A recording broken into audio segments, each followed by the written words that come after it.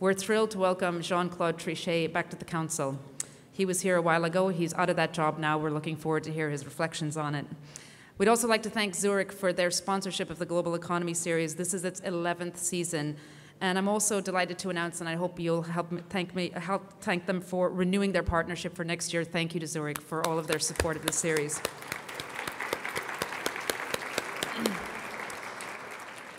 We'd also like to thank the Financial Times for their media sponsorship. There are complimentary papers outside. Uh, we'd also like to thank our outreach partners tonight, the French American Chamber of Commerce and the Alliance Francaise. Our own Dick Longworth will do a write-up of the program. You can check it out tomorrow morning. Um, it'll be up there, 800 words, a nice way to send it to your friends so they can learn more about the crisis of advanced economies. Few upcoming programs, as many of you saw on our weekly update yesterday. Uh, we've got lots of great stuff coming up.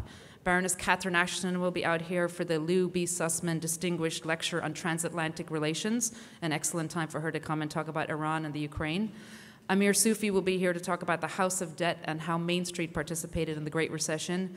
And then on May 28th, we're delighted to welcome Timothy Geithner and Hank Paulson to hear their reflections on the financial crisis. I'll be back up to moderate Q&A, but now if you would please join me in welcoming to the stage um, our introducer for this evening. He's the treasurer for Zurich North America, Mr. Bob Byrne. Thank you.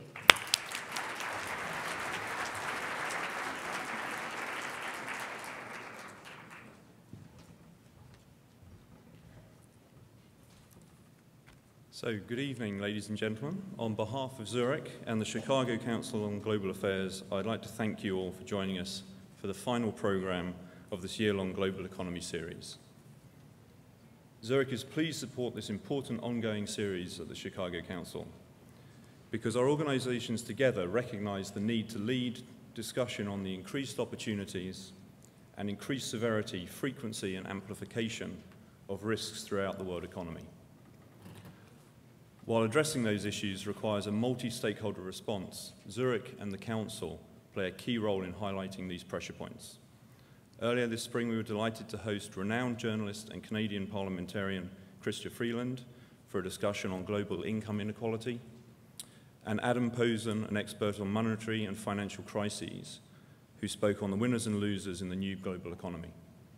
Tonight, we're pleased to welcome Mr. Jean-Claude Trichet, who led the European Central Bank from 2003 to 2011 and was a key actor during the most dramatic period of the global, global economy since the 1930s.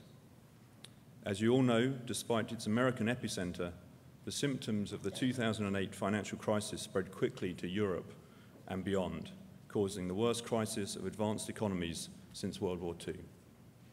While the US, UK, and Japan battled their own immense challenges, the countries of the Eurozone faced a dual threat of national and European crises, presenting an unprecedented governance test for this grand European experiment. I look forward to Mr. Trichet's perspectives this evening on what we learned in the six years since the crisis and how this knowledge may contribute to shaping a more stable and prosperous global economy. Let me now briefly introduce him to you. Mr. Jean-Claude Trichet is chairman of the board of directors of Bruegel. In addition, he serves as the chairman of the Group of 30 and the European chairman of the Trilateral Commission. In 2003, he was appointed president of the European Central Bank for a term of office of eight years. He was made chairman of the Monetary Policy Council of the Banque de France in 1994, a member of the Council of the European Monetary Institute from 1994 to 1998, and thereafter a member of the Governing Council of the European Central Bank. Mr. Trichet, we are delighted to host you this evening. As global, sorry, as global organizations with Chicago roots, Zurich and the Chicago Council hope your assessment reveals insights to a brighter future through an increasingly interconnected world. Thank you for taking the time to visit us in Chicago. Please join me in welcoming Mr. Jean-Claude Trichet.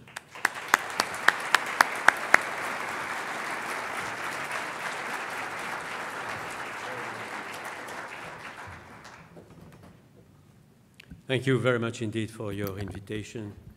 It's a great pleasure to be here in Chicago, and uh, I've been invited uh, very often by Michael. Uh, uh I have uh, to say that the atmosphere in Chicago is always uh, extremely vibrant, and I appreciate it enormously. Let me also say that I am quite impressed to be in front of such a magnificent audience.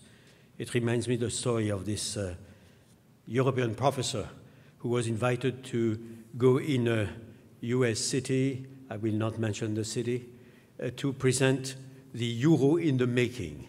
It was five years before the euro was made uh, in uh, 94, and he was expecting a very, very large audience. Uh, he came after having prepared very carefully all his uh, slides, and uh, he was quite surprised because at nine o'clock, which was supposed to start the colloquium, there was absolutely nobody in the room. So he waited a little bit, took the chair, and then 20 minutes afterwards, uh, somebody entered, and he understood that he would have a very meager audience, one person.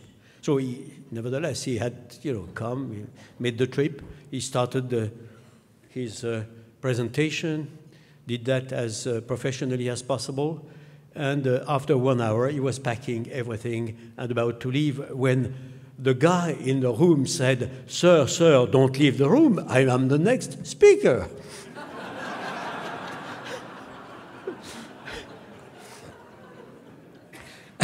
At that time, the euro appeared as a very fancy project. Uh, it is not the case now, and as you just said, sir, we had the sad privilege of being the epicenter of the crisis at a very acute episode in the crisis of the financial, uh, of the financial crisis of the advanced economy. Let me say that it seems to me that to understand fully the crisis, we have to understand again that uh, we are experiencing a single crisis. That's my own understanding. A crisis of the advanced economy. You had various crises the world over in the emerging world, uh, but we had no crisis of the advanced economy as such uh, since World War II and um, uh, it started in 07. I see three episodes in the crisis. One, which was uh, financial turbulences uh, after, uh, I would say, August 2007, when the, the, subprime episode created a high level of turbulences in uh, the money market and in a number of other markets. First episode, up to the mid-September 2008, where we had the collapse of Lehman Brothers, second episode.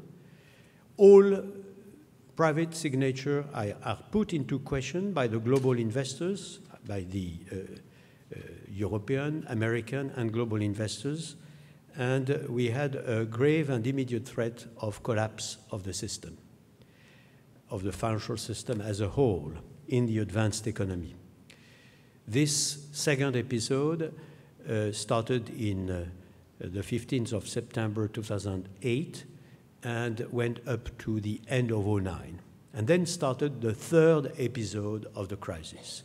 Second episode, all private signature in the financial sector are put into question. Third episode, the public signature, the treasuries, the sovereign signature are put into question. Second episode, epicenter of the crisis in the US, but contagion to the rest of the world. Third episode, epicenter of the crisis in Europe, and more particularly in the euro area. I will always remember the moment when Ben Bernanke pointed his finger on me at the end of 09 and in Basel, where we had the meeting every two months, and he told me, uh, Jean Claude, now it's your turn. And it was exactly that. The epicenter of the crisis has crossed the Atlantic, and we had, again, this sad privilege of being at the epicenter of the crisis. I will not spend too much time in this exposition on why we had this dramatic financial crisis.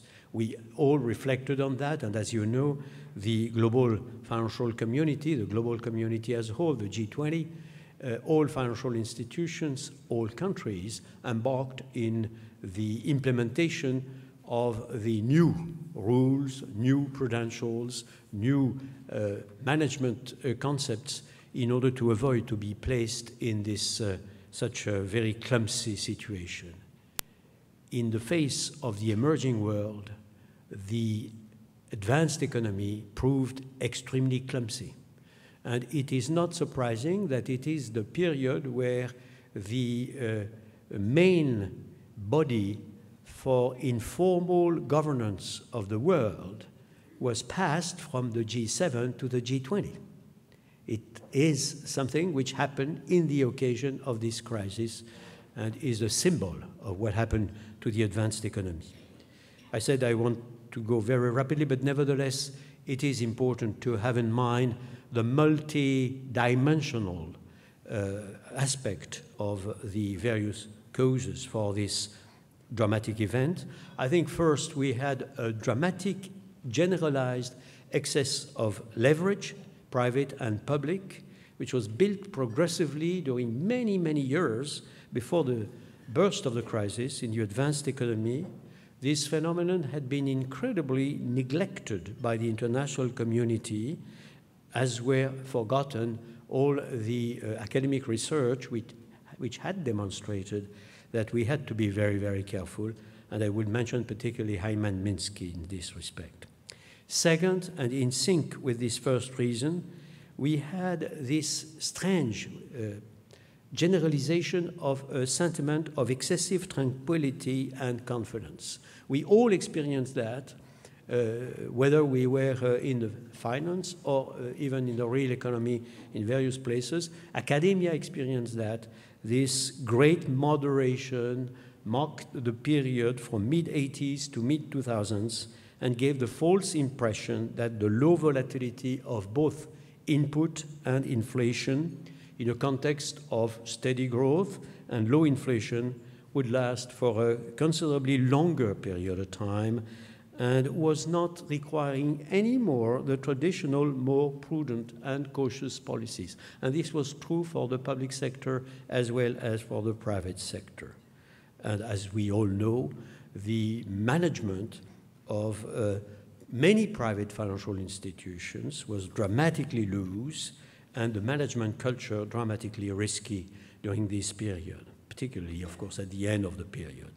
I have to say also, sadly, that the public authorities themselves were sharing this false tranquility. A third reason, which is also closely correlated with the two previous ones, is the large consensus of the international community on the efficient market hypothesis in almost all circumstances, to the extent that we had, it was invented here in a way. I have to mention that, of course, it is an important part of the intellectual uh, deciphering of the world in which we are. Uh, the Nobel Prize was given to uh, the person who you know, discovered the efficient market hypothesis and, and gave a lot of uh, credit to this hypothesis. The fact is that it doesn't work in all circumstances, as uh, Mr. Fama himself, of course, had said. Uh, so, again, there has been some kind of uh, false belief that we were permanently in a single uh, equilibrium, which would be very close to the optimum. And uh, I have to say also that the macroeconomic models for projections prove to be incapable not only to predict the crisis, but even to uh, reveal what would happen after the start of the crisis during the first three quarters. A fourth reason, which I have to mention, is and was the structural transformation of the financial market, which uh, was itself something of extreme rapidity all over the world the sophistication of the financial instruments, the wild securitization that we uh, have experienced at the time, the generalization of derivatives uh, uh, of all types. And uh, to sum up, we were in a much more complex, much more obscure, and much more difficult to decipher financial world.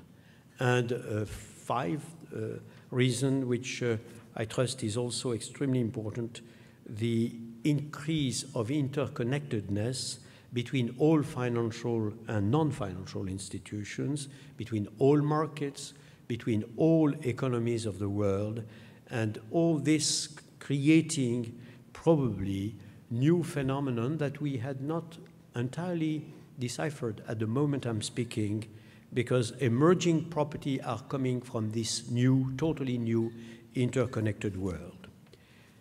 We try to correct all that, as you know. The uh, work uh, is in progress. I think we did a lot, but a lot remains certainly to be done to be sure that uh, we will be in the future in a much more resilient uh, world with much less likelihood of dramatic events.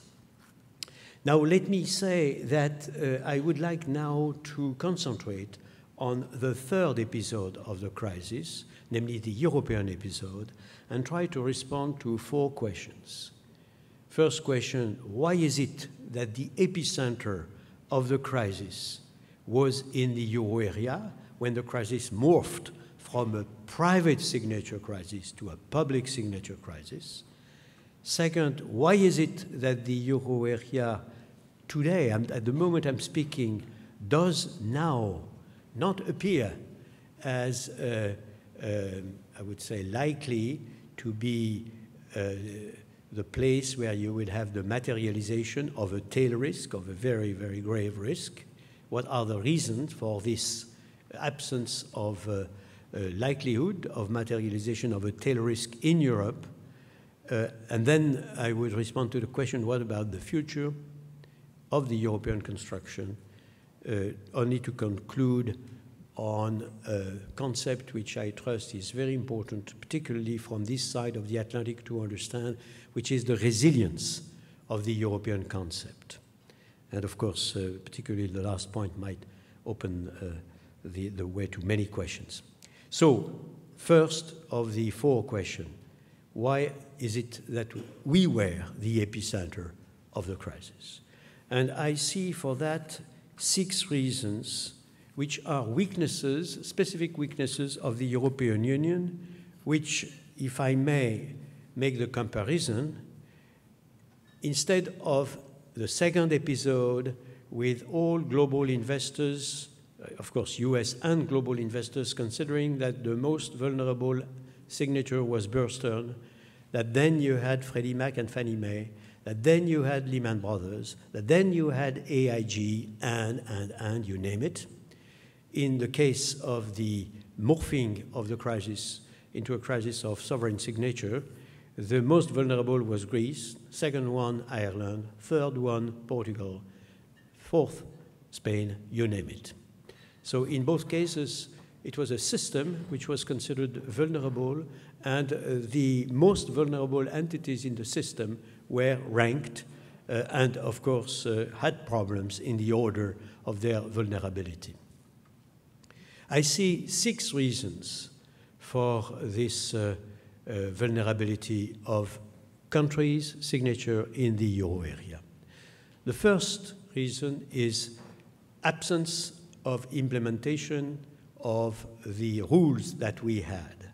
You remember at the very beginning, the Europeans were aware, of course, of the fact that to have a single currency without having a political federation, without having a federal budget, was a bold endeavor. And that bold endeavor called for a quid pro quo. The quid pro quo was the Stability and Growth Pact, namely a framework to be sure that fiscal policies would be sound and reasonable in the various countries and also would collectively be uh, sound in order to avoid uh, aberrant uh, behavior uh, individually and collectively and that was not implemented.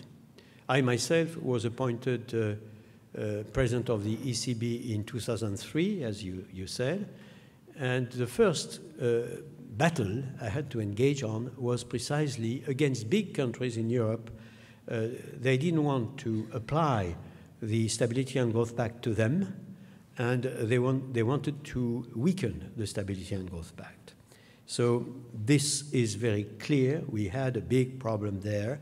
And I have to mention that uh, I'm very happy now with the uh, benefit of the hindsight uh, to have my first speech in the European Parliament to underline in December 2003 the importance of the Stability and Growth Pact and the fact that it was essential for the cohesion of the euro area.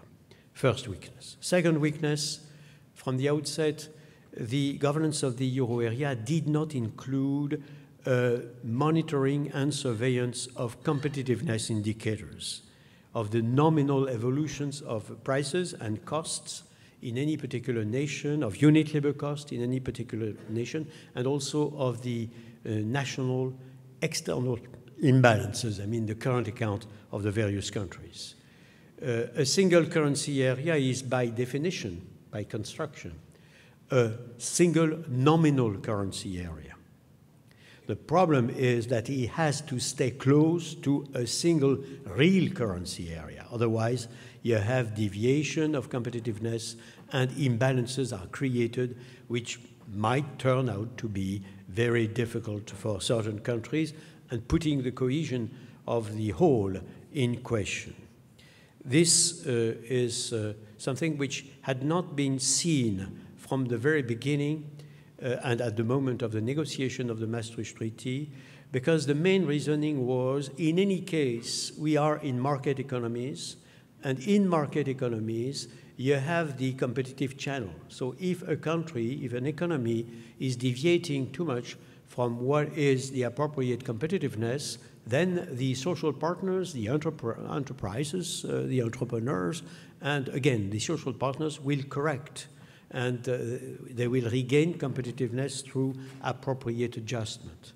And the fact is that it did not happen like that in a number of countries. It worked in some, it didn't work in others. And uh, uh, I am, again, uh, have to mention the, the, the fact that uh, since 2005, the ECB uh, told all governments that uh, we had a problem of deviation of competitiveness at the level of the euro area as a whole. And again, I'm quite happy that I circulated since 2005 the evolution of the unit labor cost country by country to signal that something was happening which had to be corrected. It was not corrected, obviously, and to understand better, we have to go back to the reason for the crisis I gave at the very beginning, namely the fact that we were plunged, all of us, in a, a universe of benign neglect, tranquility, with the sentiment that uh, there was no problem to come. The markets themselves were extremely gentle and kind, and uh, the uh, theory according to which if something is not broken, it would not be appropriate to fix it was generalized, I have to say, on both sides of the Atlantic with a number of consequences. A third reason for uh, the uh, sad position of the euro area as the epicenter of the third episode of the crisis was that uh, there was, uh, in the crisis, in the financial crisis, a very high level of uh, correlation between the creditworthiness of the commercial banks of a particular country and the creditworthiness of the signature of the country itself. This, of course, was observed everywhere. In the euro area, it created both a vicious circle for those weak countries and a virtuous circle for the strong countries with a feedback loop between the banks and the country. And that, of course, I cannot embark on the reason for this uh, feedback, but uh, it's clear that it was stretching the euro area in a particular way, which is uh, also uh, one of the causes for these uh, uh, weaknesses of the euro area. And we had a fourth reason, which was that we had no crisis management tools. We had to invent on the spot the uh, European Stability Mechanism, the ESM, when the United States could, of course, invent the TARP program with one shot to, in going to the Congress. But in our case, to invent a new tool, we had to go through the 15 democracies that were uh, part of the euro area and uh, it is, of course, something which is not easy. So that also was something. The fact that we had not foreseen that in advance is not a problem. The US also did not say in advance we should have a TARP program. But the problem is that uh, our decision-making process, of course, is much more complicated with the exemplary democracies that are making up the euro area.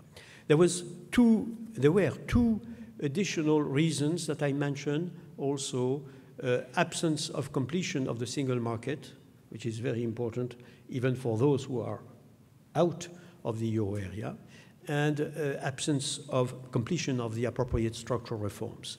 This is a problem for the 28, not only for the 15 or 18 today, but uh, it is, of course, something which uh, uh, had a particular impact on a single currency, a single market with a single currency, because there you have a special stake in having a flexible economy, an economy where precisely the competitive channel can function as well as possible with flexible markets and appropriate structural reforms and achieved single market. So you have the six reasons, and I have there the response, I trust, to my first question. Of course, some of the reasons uh, were, uh, are very difficult to forgive, particularly not to apply what had been decided from the outset.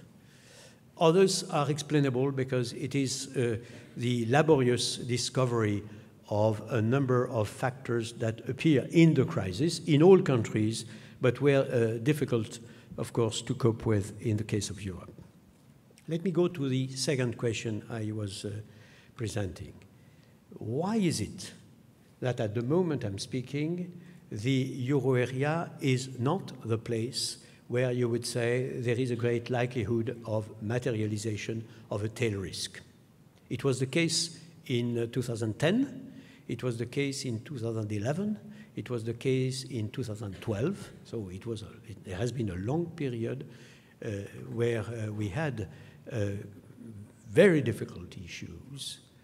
It's not the case today. I see four reasons for this situation that we are observing, experiencing today, that the market is uh, accepting today. You could see that a number of countries had access to market at rates which are uh, much lower, of course, than what was the case before, and uh, uh, are uh, in some cases, in the case of uh, Spain, for instance, or even Greece, symbolic of this new look at the euro area. I said four reasons. The first reason is that adjustment of the countries that were weak has been consider considerably uh, convincing. If I, I, can give you only a few figures, the five countries that have been under stress at a particular moment had a current account uh, deficit of around 8.5% of the GDP in uh, year 2008-2009. And of course, this explains why, in particular, they were vulnerable because not only they had lost competitiveness, but it was very visible in terms of uh, their own current account. At the moment I am speaking as a group, they are now for the next 12 months in the positive figures, in black figures, not in red. And in some cases, it is really very, very impressive to see the work which has been done. So the first reason is adjustment has been done. When it was considered by a number of observers very unlikely that the countries could correct their trajectory in this fashion. And I, I, could, of course, respond to many questions on what has happened in this respect, because it is, it's been a painful exercise, a very difficult one. But unfortunately, a, a very necessarily, necessarily one, because you had no financing coming from the rest of the world to finance these current account uh, deficits. Second reason which is also an important reason, all the weaknesses I have been mentioning, and particularly the four weaknesses that are specific to the euro area, have been corrected in a way. Uh, the Stability and Growth Pact has been considerably reinforced. The burden of the proof has been reversed. Uh, the fiscal compact gives more clout to the Stability and Growth Pact. There is the European se semester, which also uh, reinforces the surveillance and monitoring of the SGP, Stability and Growth Pact. First weakness, decisions have been taken and are now applied. Second weakness, absence of monitoring of uh, competitive indicators. We have now a new procedure which is called the Macroeconomic Imbalance Procedure, MIP, which is precisely there to care for this uh, uh, evolution of competitiveness, evolution of imbalances, including current account. So second weakness decisions have been taken. I consider myself the MIP as important as the SGP and perhaps more important because, again, it is the way you ensure that you are constantly relatively close to a single real currency area and not only a single nominal currency area. Third reason, very, very important, and I draw your attention to that. All countries, all democracies, in the worst crisis of the advanced economy since World War II, decided to stay in the euro area. It was not the perception of many observers, investors in the rest of the world. They were more or less convinced in 2010, 2011, 2012 that some countries would leave and that the pain of the adjustment was so considerable that, they would, that their own democracy would say, no, we prefer to get out. Of course, everybody knows that getting out would have meant something which would have been particularly dramatic. But it was considered relatively likely. None of them decided to leave. None of them, not even Greece. Other observers were thinking that other countries that were not in stress would take advantage of the situation to refuse to help others. And more or less, in refusing to help, uh, I would say, expel from the euro area those countries that had behaved with great difficulty in the past. And uh, everybody can see to which country in particular we can think. It was not the case. The Bundestag decided to help Greece.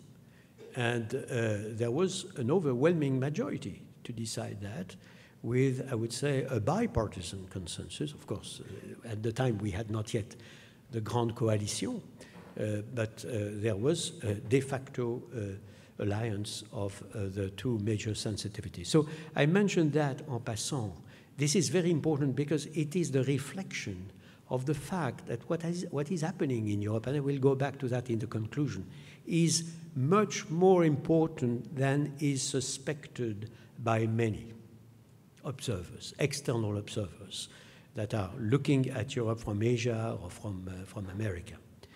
There is something like an historical endeavor that is behind and explains, in my opinion, this uh, third set of decisions of the European democracies. And there is a last point, which is the last not the least.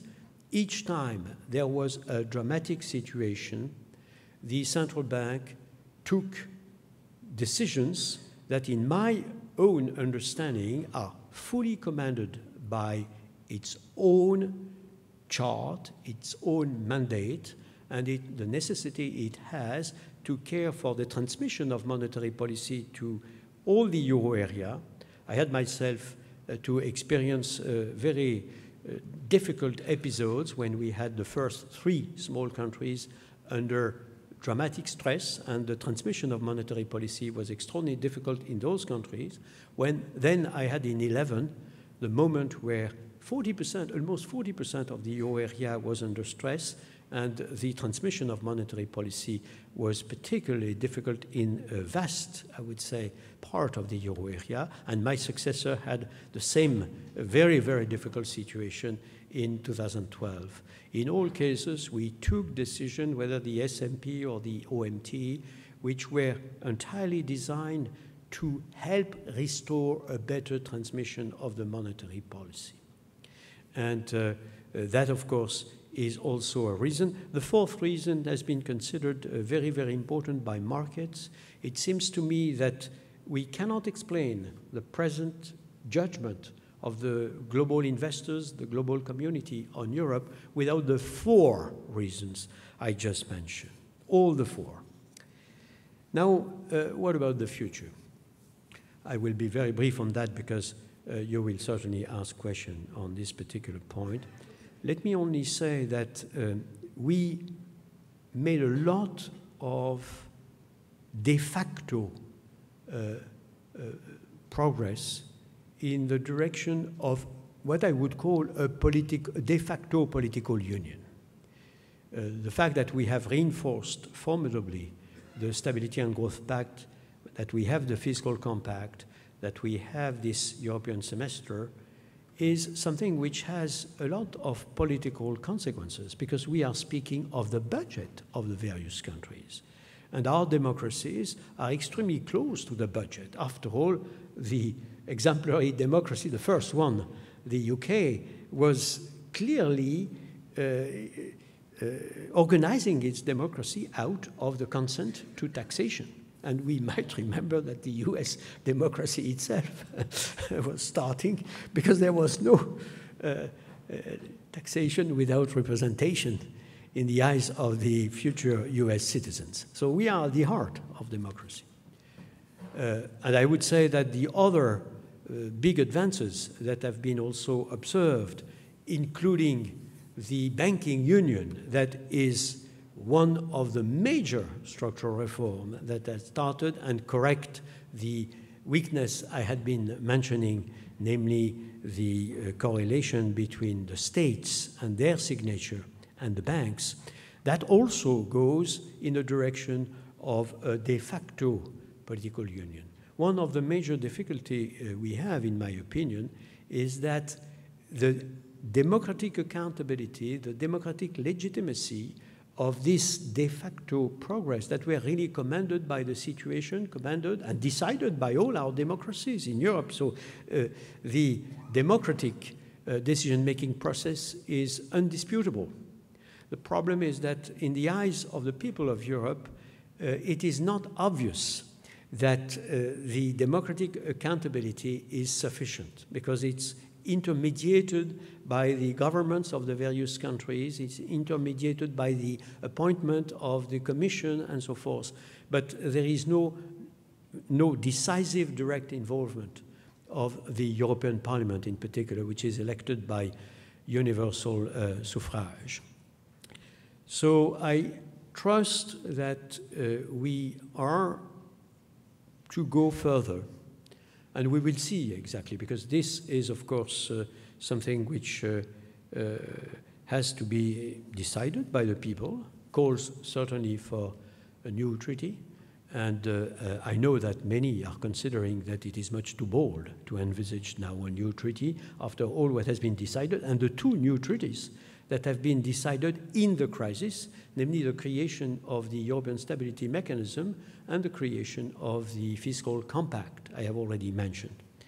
But my own understanding is that, uh, nevertheless, it is uh, likely that uh, we will have the necessity to go further. And again, this is commanded by the uh, very, very profound, deep uh, call for more democratic accountability, more democratic legitimacy.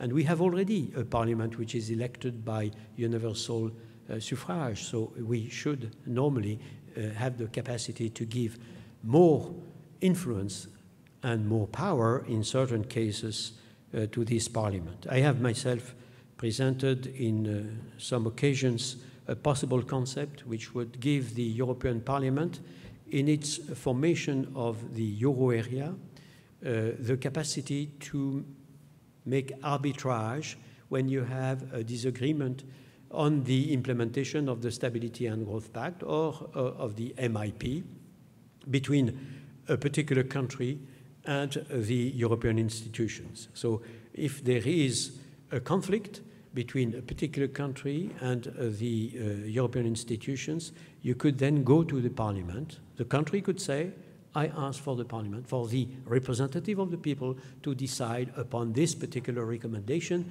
that you are making and that I would challenge. I, I cannot elaborate on that, but it seems to me that it is one of the way perhaps we could uh, pursue in order to respect uh, the various principles that we are very attached to, the subsidiarity principle. Don't overdo what can be done at the level of the various countries, but in certain cases, it is necessary to preserve the cohesion of the whole, and uh, it is necessary to take appropriate decisions. And again, the main, uh, uh I would say, advantage of uh, this new way would be to give, again, more democratic accountability to the decision making process. Now, let me turn to the last point I wanted to make, because it seems to me that it's particularly uh, important uh, to make the point in front of uh, an audience which is, uh, I guess, uh, in its majority US uh, citizen and not European, of course, citizen, even if there are a number of European citizens here. I would draw your attention on the resilience of the European endeavor. It is absolutely clear that what we are doing is very bold.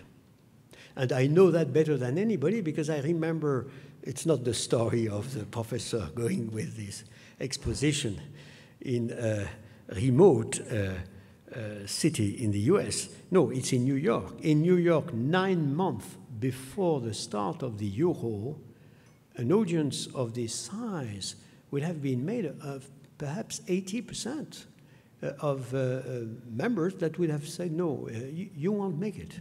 You, you, will not do it. It's impossible. It's too bold. We never saw that in the human history. Why do you want the number three GDP of the world in the advanced economy with the number four uh, ex aequo with the UK and with the number uh, six to unite uh, it, it, and to have a single currency. It, it's too bold, it's strange, never been done, uh, it will not be. and the fact is that not only it is, not only we are 15 years after the start of the euro, but in the worst crisis since World War II, which could have been the worst crisis since World War I, had the central banks on both sides of the Atlantic and in the other part of the advanced economy, and the governments had not taken extremely rapidly, extremely bold decisions, could have been absolutely terrible. In this incredible stress test, the euro remained credible as a currency. And you know that the main discussion on the euro is maybe he's too strong, maybe he's too, I would say, credible. Maybe its creditworthiness is too high. That's the, that's the debate. The debate is not at all what would have been anticipated in such a case with the worst crisis since World War II. Uh, of course, the euro will collapse, and uh, a lot of uh, title in the various uh, media were mentioning the euro will disappear. The euro, they do that to save the euro, as we can all see the euro was never to be saved at any moment in this crisis. And its entry level was lower than the, the, the level vis-à-vis the dollar it had during all these crises. So this tells a lot, it seems to me, on the necessity to prevent external observers from having a bias against, I would say, this boldness. And another point, which is also extremely striking, is the euro area itself. Because if the euro was never put into question, and everybody can confirm that in looking at figures and facts, it's true, and I mentioned that, uh, of course, very deeply. Uh, it's true that the euro area itself had major problems. And uh, seen from the rest of the world, the likelihood, as I said, of the euro area integrity being put into question has been quite high in the eyes of the analysts, observers, global investors. We were 15 when Lehman Brothers collapsed. 15 countries in the euro area. As I already said, all 15 remained in the euro area. No country went out. Three countries entered the euro area during that period Slovakia, Latvia, uh, and uh, uh another Baltic countries, which uh, uh, is Estonia. So Estonia, Latvia, and Slovakia entered. And as you know, the last one, Lithuania, is very eager to enter. So, in any case, at the moment I'm speaking, we are 18. We were 15. And there is a likelihood of a 19 country entering. So, it tells also a lot on what? I would say on the underlying resilience of this concept, of the unity of Europe going on, even in the worst possible circumstances, and on the attachment of the European to their historical endeavor. Uh, I, uh, of course, was myself uh, very, very engaged in this uh, historical process. Uh, I have to say that uh, it seems to me that this underlying strength of the endeavor is something that has to be fully understood if we want all of us to make appropriate decisions when uh, dealing, of course, with uh, the, not only the European question, but also the global issue, because as we all know, of course, the uh, influence of uh, uh, the big economies of the uh, advanced economies uh, is very, very important. The US is extremely important. Europe is important in uh, many respects, and making a right analysis on what is going on historically in Europe seems to me to be of extreme importance. I will stop there in uh, thanking very much uh, for your attention.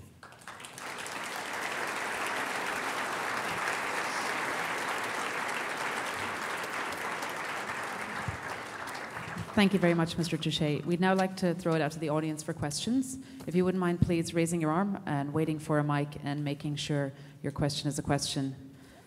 Can we kick it off here with Phil Levy, our Senior Fellow on the Global Economy, please?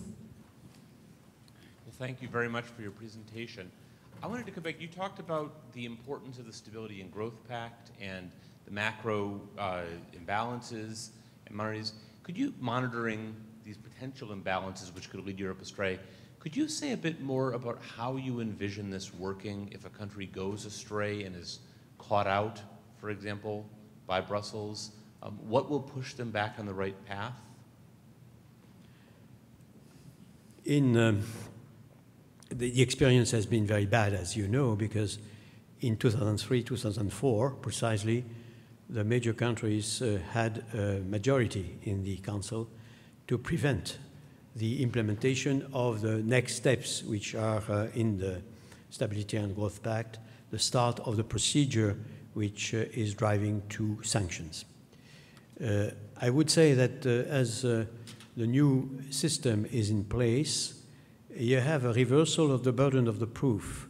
So the likelihood of going against the Commission, against the recommendation of the Commission, uh, is much more meager because then you need to have a, a, qualified majority to go against the Commission first.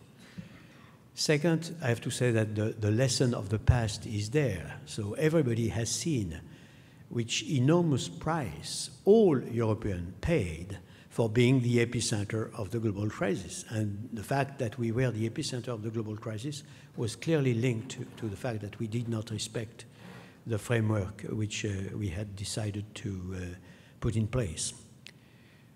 The last point is what do you do, if I understand your question, what do you do if a country is unwilling or unable to apply the recommendations, to correct its trajectory, and then you have the sanctions in question. So I make the working assumption that the sanctions are there. The sanctions are fines. So the country would be imposed fines. And there I introduce my own concept. I would say it would be better to have uh, final decisions taken by the European institutions themselves after appropriate involvement of the European Parliament in close connection with the national parliament concerned, so that the people of Europe, by the uh, channel of their own representative, would take the final decisions. It goes quite far. I call that the activation of an economic and fiscal federation by exception. Because it would function only in case you have exceptional problems, the stability of the whole is in uh, question, and uh, you have a refusal or challenge on the uh, pertinence of the recommendation. That's, that was the concept I had mentioned in the exposition. Yeah, next question. Um, right over here, please. On the left, thank you. There's been a lot of discussion uh, currently that the euro at its present level around 138 is perhaps too strong and increasing deflationary pressure within Europe. What policy measures do you think the ECB will adopt to counter this, if any, and what uh, level do you think they would like to see the uh, euro at? Well, since uh, the explosion of the Bretton Woods system, as you know, we are in a floating system at the level of the major uh, currencies of the advanced economy. So I would not mention any particular level, of course. But nevertheless, I would certainly say that uh, when I look at the constellation of the major currencies, uh, the present level of the euro is probably too high and uh, does not correspond fundamentally to the fundamentals, the underlying fundamentals, uh, if I compare to the US dollar, to the yen, and I will not mention necessarily the, the sterling, uh, which uh, is going up, if I understand, in the most recent period. But um, there, there are issues that are not negligible because some countries have embarked, I would say, visibly or less visibly in letting, if I may, economists comment on their own policies, have embarked on relatively weak currency posture, which uh, have never considered an appropriate behavior at the level of the G7 countries. And uh, I mentioned that en passant. By the way, your question confirms entirely what I said. If Europe was that weak or is that weak, if it is the sick man or uh, if the currency itself was probably a bizarre endeavor, why the hell is it that this currency appears to be more credible, more creditworthy, more preferred by global investors than others. Uh, I, I take, of course, advantage of your question. But I would say more fundamentally, more fundamentally, uh, I, I, think that we, we must live in a world where, uh, with the help of the market, of course, but also with the appropriate behavior of the uh, public authorities, we, we are close or we try to be close to what would be in line with fundamentals and I trust that at the moment I'm speaking, uh, the euro is probably, probably too high. So now I don't want to embark on advising my colleagues that they will do certainly the best decision you can imagine as uh, what has been done in the past and uh, have full confidence in their capacity to do whatever is needed. Thank you. Next question. Yeah, please. The gentleman right there, please, in the red shirt. Thank you. Um, I appreciate your comments about the resiliency of the EU. I think that was very uh, powerful. Um, my question really is that so the situation has been stabilized. Has the EU, the EC, done what is really necessary to bring growth back? I mean, we have such anemic growth now in the U US, but by comparison, the EC, the EU is, is even worse. And my question is, has, has, has what been, have you, has the, have, have we done the things that are necessary to generate growth? Well, it's a very, very important question and a very good question, I have to say, particularly for Europe or for Japan, and perhaps even in terms of job creation for the US itself. Um, several uh, comments. First comment clearly we have all to elevate the growth potential, particularly the European, and this is uh, something which goes through structural reforms. So the structural reforms agenda is absolutely essential at the level of each individual country and at the level of the euro area and European Union as a whole. Let's not forget that the structural reforms agenda is a, an issue at the level of the 28, all members of the uh, European Union. Second remark, Europe has a particular problem because Europe is just getting out of the sad position of being the epicenter of the global crisis. I explained the reasons, but the, the, fact is, and a large part of the euro area had to correct imbalances, which had, of course, uh, consequences in terms of growth. And uh, I trust that now we are in a situation where, all taken into account, as I said, the current account, the fundamentals are much, much better, and we should normally see the uh, countries and economies that were in red figures in terms of growth being back to black figures, which is already observed, and those countries that have room for maneuvering to express more their room for maneuvering, particularly those countries that have big current account surplus, where the normal functioning of market economy should trigger more growth. But again, the main problem remains the growth potential, which is a problem again, particularly for Europe, but also for all the advanced economies.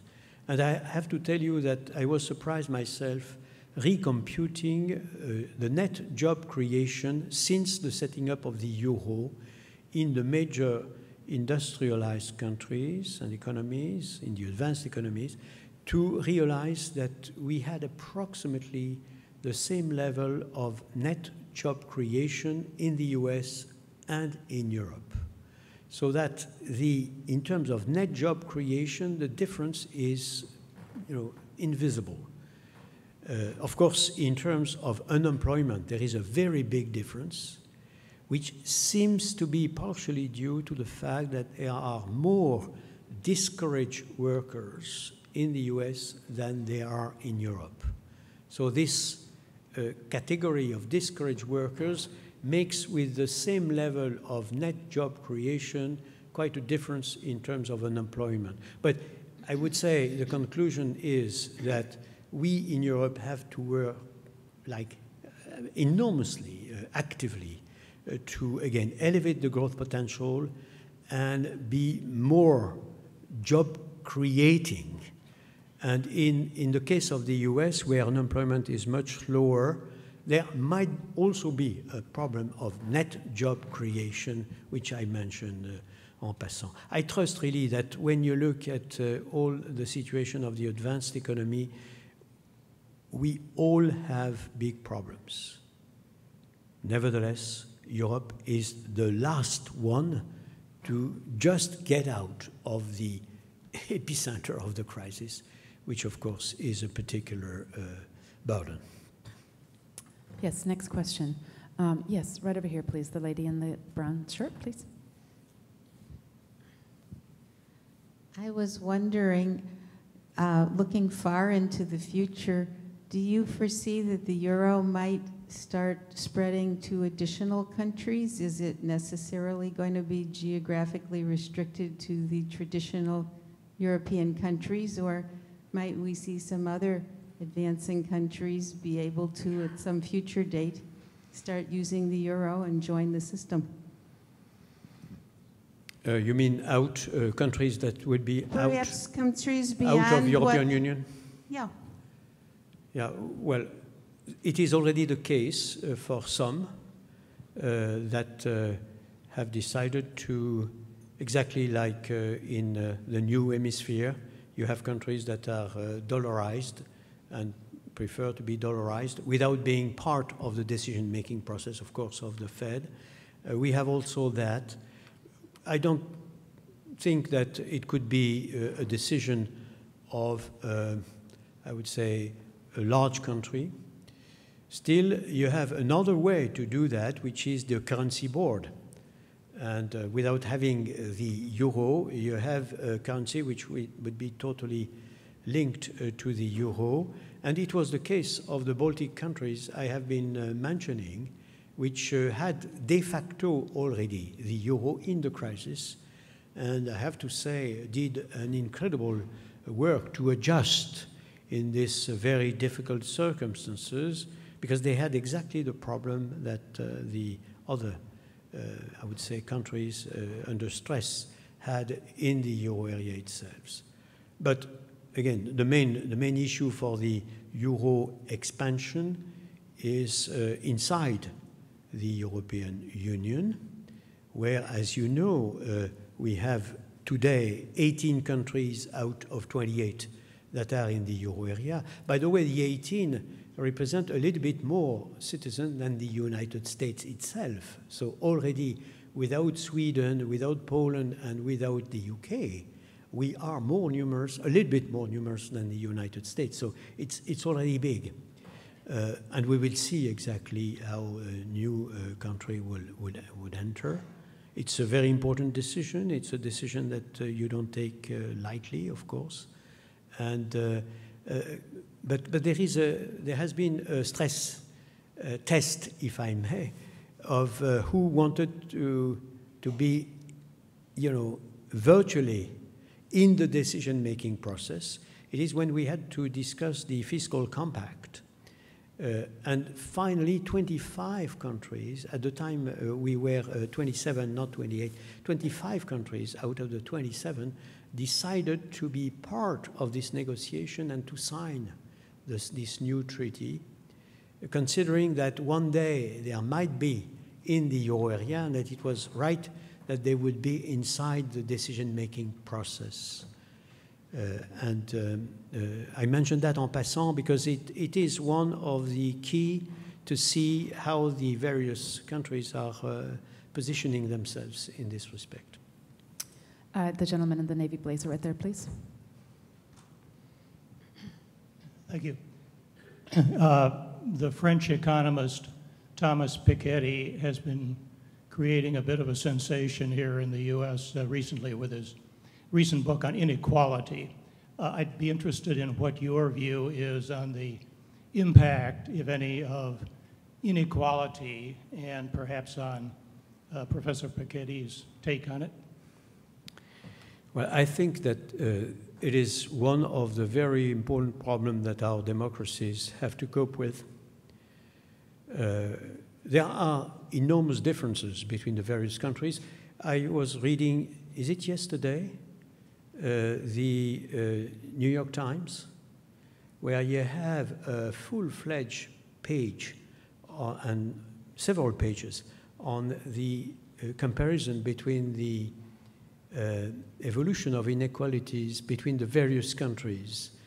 And you see clearly, I mean, it was very much concentrating on the US, but you see clearly that uh, the, at least if you take the net revenue after tax, you have undoubtedly over the last 20 or 30 years an augmentation of the inequality.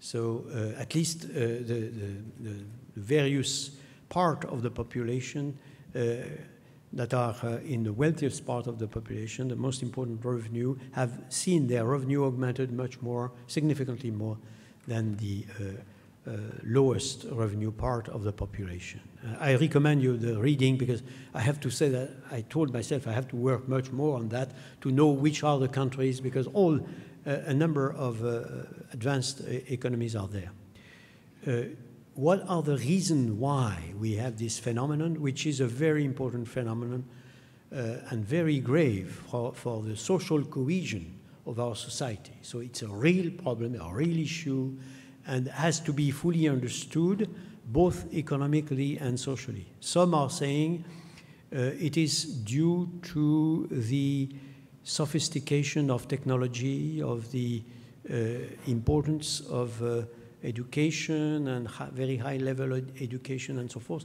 It might be part of the problem, but then, if it were the case, we should normally see all, all society moving more or less in sync, which is not the case. You have very big differences between the various societies. So I, I trust that, uh, again, we have to, what is sure, we cannot run uh, political democracies without all citizens feeling at ease in their own society.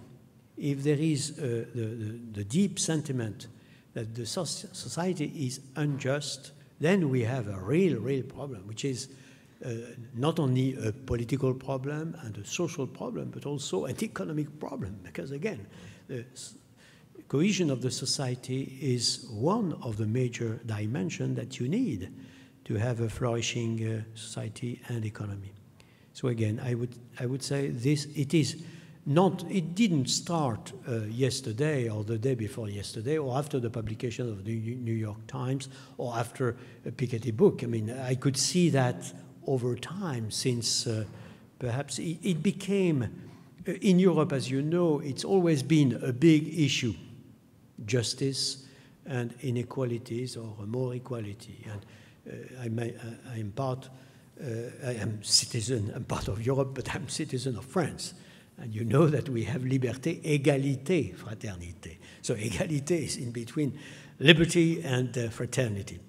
Uh, but I could see this phenomenon of uh, uh discussion on inequalities starting in the US quite strongly a few years uh, ago, and I was not expecting that. Uh, and I had to, to see, to, to accept that there, there are good reasons for that in all our uh, economies and all our societies.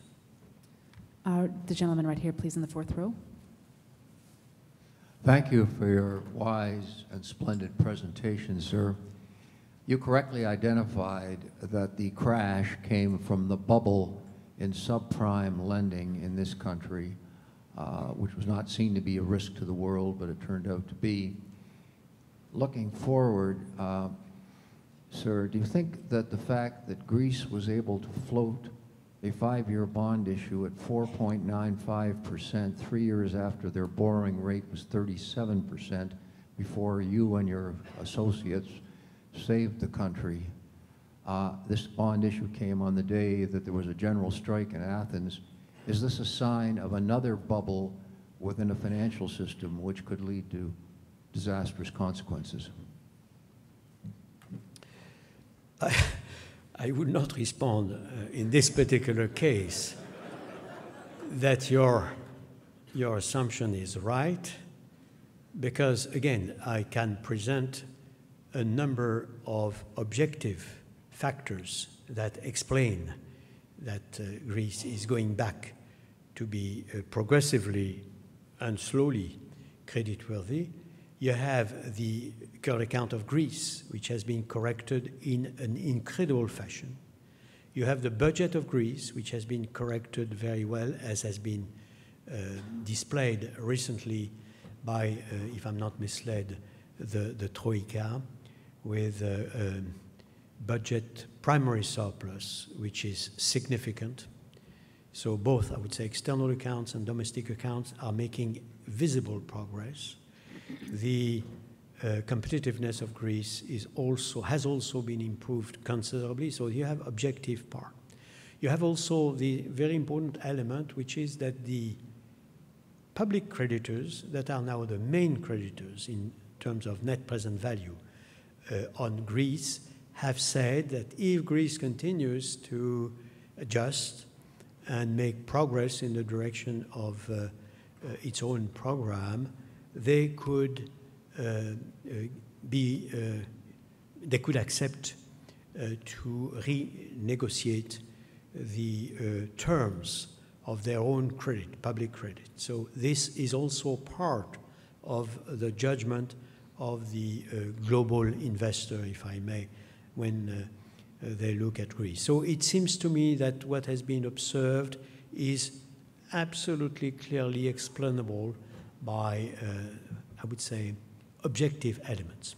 Now, that being said, totally out of Europe, totally out of Greece, it's clear that because central banks are giving liquidity on an extraordinarily generous basis in all advanced economy at rates that are extremely close to zero, and that since a very long period of time.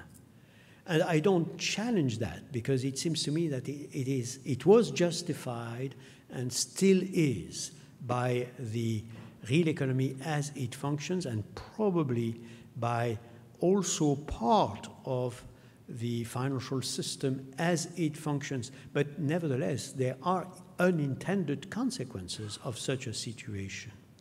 And of course, these unintended consequences can be very bad.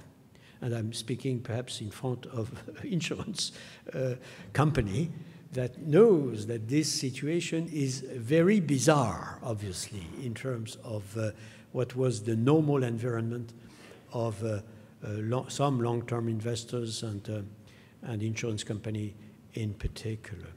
So I would say what is being done by central banks in all advanced economy today has to be fully utilized by the public sector as well as by the private sector to put their house in order very, very actively. Because if it were not the case, then we would uh, only pave the way for further difficulty in the future. Uh, both, I would say, because again, uh, we would not correct the absence of normal functioning of both the public sector and the private sector, and also because there are unintended consequences in a very long period of extremely low interest rates with uh, extremely generous liquidity supply. And a last point also uh, to mention the fact that I have always been in favor personally in terms of instrumentation of, of the monetary policy to separate the, uh, I would say, interest rate policy, the conventional tools, from the unconventional tools, namely in the US, the uh, purchase of uh, tradable securities, public and private, and in the case of Europe, the unlimited supply of liquidity at fixed rate, which is the generalized rule for the commercial banks. I call that unconventional measures, quantitative unconventional measures in various forms, and I take it that we would be better if we would strictly separate the two. Uh, the, uh, I would say, quantitative measures uh, being commensurate to the absence of normal functioning of some markets or the, the interbank market in, in Europe, and uh, the uh, interest rates having the uh, absolute necessity to not to be extraordinary, permanently accommodating, because then we have unintended consequences. Ladies and gentlemen, unfortunately, that's all we have time for. Please join me in thanking Jean Claude Trichet.